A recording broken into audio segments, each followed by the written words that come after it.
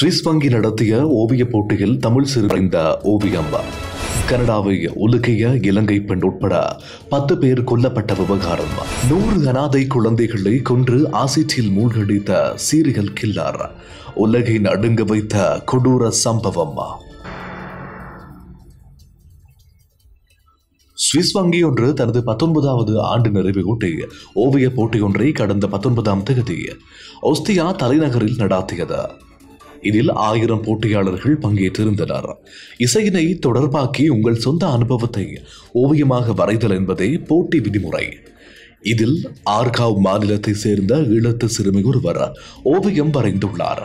அந்த ஒரு ஓவியம் மட்டுமே தமிழினத்தின் வலி சுமந்த கண்ணீர் காவியமாய் அமைந்துள்ளது. அபிர்சனா தயாளக்கூர் என்ற இந்த சிறுமி முதலாம் பரிசினை இதற்காக தட்டி சென்றுள்ளார். கனடாவில் இலங்கை பெண் உட்பட பத்து பேர் கொல்லப்பட்ட வழக்கின் தீர்ப்பு யூடியூப்பில் ஒளிபரப்பாக உள்ளது.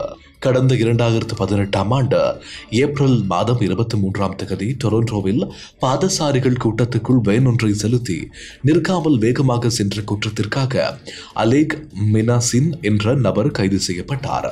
அந்த கோர சம்பவத்தில் ரேணுகா அமரசிங்கா என்ற இலங்கை பெண் உட்பட பத்து பேர் உயிரிழந்துள்ளதோடு பதினாறு பேர் காயமடைந்ததை தொடர்ந்து மினாசின் மீது பத்து கொலை குற்றச்சாட்டுகள் மற்றும் பதினாறு கொலை முயற்சி குற்றச்சாட்டுகள் பதிவு செய்யப்பட்டன. எனினும் தன் மீதான கொலை மற்றும் கொலை முயற்சி குற்றச்சாட்டுகளை இதுவரை மினாசிகன் ஒப்புக்கொள்ளவில்லை.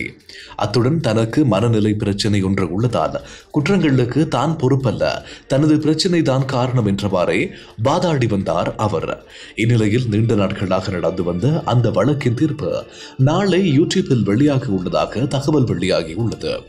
இதேவேளை பாதிக்கப்பட்டவர்கள் அவர்களது குடும்பத்தினர் மற்றும் தேர்ந்தெடுக்கப்பட்ட சில பத்திரிகையாளர்களுக்கு மட்டுமே அந்த ஒளிபரப்பு என்றும் ஒரு தகவல் கூறுகிறது. பிரித்தானியாவில் வீட்டின் விலை அதிகரித்துள்ளதாக வைத்து வெளியிட்டுள்ள அறிக்கையில் தெரிய வந்துள்ளது அதன்படி சராசரி மதிப்பு இரண்டு லட்சத்து முப்பத்தி ஓராயிரத்து அறுபத்தி எட்டு பவுண்டுகளை எட்டியுள்ளதாக தெரிவிக்கப்பட்டுள்ளது. ஒரு வருடத்திற்கு முன்பு இருந்த விலையை விட ஆறு தசம் ஒன்பது சதவீத உயர்வை கண்டுள்ளது. இது ஜனவரி மாதத்தில் ஆறு தசம் நான்கு சதவீதமாக இருந்தது. இந்நிலையில் இந்த அதிகரிப்பு ஒரு ஆச்சரியம் என்று நேஷன் வைட்டின் ரோபர்ட் கார்னர் கூறியுள்ளார். ஏனெனில் முத்திரை வரி விடுமுறை முடிவடைவதற்கு முன்பே விலை வளர்ச்சியும் குறையும் எனவும் எதிர்பார்க்கப்பட்டுள்ளது. இந்த விடுமுறை மார்ச் முப்பத்தி ஓராம் தேதி முடிவடைய உள்ளது. இருப்பினும் அது நீடிக்கப்படலாம் என்றும் தகவல்கள் வெளிவந்துள்ளன. முத்திரை வரி விடுமுறை என்பது ஜூலை முதல் இங்கிலாந்து மற்றும் வடக்கு அயர்லாந்தில் உள்ள அனைத்து சொத்து விற்பனையிலும் முதல் ஐந்து லட்சம் பவுண்டுகள் வரை நிறுத்தப்பட்டுள்ளது. எனினும் இந்த வார வரவு செலவு திட்டத்தில் முத்திரை கட்டணத்தில் ஏதேனும் மாற்றங்கள் குறித்து அறிவிப்பு வரலாம் எனவும் தகவல்கள் வெளியாகியுள்ளது இத்தாலியில் கொரோனா தொற்றால் பலியானோர் எண்ணிக்கை ஒரு லட்சத்தை நெருங்குகிறதாக தகவல்கள் தெரிவிக்கின்றன. சீனாவில் ஆரம்பமான கொரோனா வைரஸின் தாக்கம் உலகம் முழுவதும் பாதிப்பை ஏற்படுத்தி வருகிறது. இந்நிலையில் கொரோனா தொற்றால் பாதிப்பு அடைந்தோர் எண்ணிக்கையில் அமெரிக்கா முதலிடத்தில் உள்ளது. அமெரிக்காவை தொடர்ந்து இந்தியா இரண்டாம் இடத்திலும் பிரேசில் மூன்றாம் இடத்திலும் உள்ளது.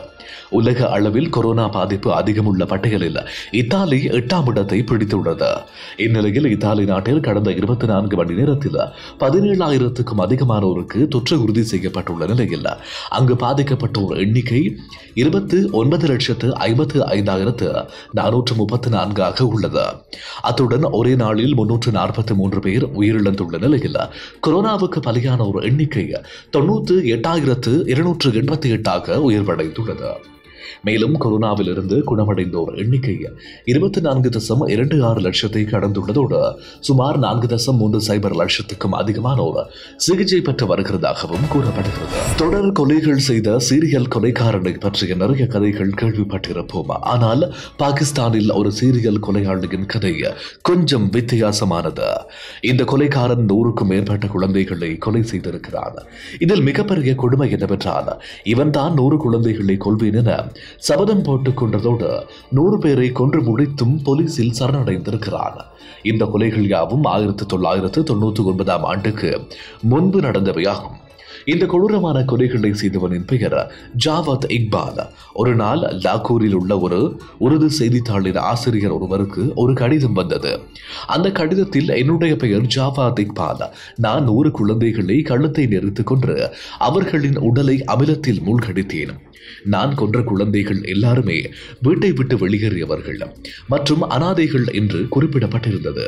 அத்துடன் எல்லா குழந்தைகளையும் கொன்ற இடத்தையும் அந்த கடிதத்தில் குறிப்பிட்டுள்ளேன். அது மட்டுமன்றி அந்த கொலையாளி போலீசாருக்கும் ஒரு கடிதத்தை அனுப்பியிருந்தார் ஆனால் போலீஸ் இந்த கடிதத்தை பெரிதாக கண்டுகொள்ளவில்லை. ஏதோ மர்ம கடிதம் என கைவிட்ட நிலையில் அந்த பத்திரிகையாளர் இந்த விடயத்தில் மிகவும் தீவிரம் காட்டினார். தன்னுடைய ஜூனியர் பத்திரிகையாளர் ஒருவரை அந்த கடிதத்தில் குறிப்பிட்டிருந்த இடத்திற்கு அனுப்பி வைத்தார். அங்கு சென்ற அந்த பத்திரிகையாளர் பெரும் அதிர்ச்சிக்குள்ளானார். அங்கிருந்த ஒரு வீடு இரத்த வெள்ளத்தில் இருந்தது. உள்ளுக்குள் ஒரு பெரிய பையில் குழந்தைகளுடைய உடைகள் மற்றும் காலணிகள் இருந்தன. அதோடு அங்கு ஒரு டைரியும் இருந்தது. அந்த டைரியில் இறந்து போன குழந்தைகளை பற்றிய தகவல்களும் எழுதப்பட்டிருந்தது.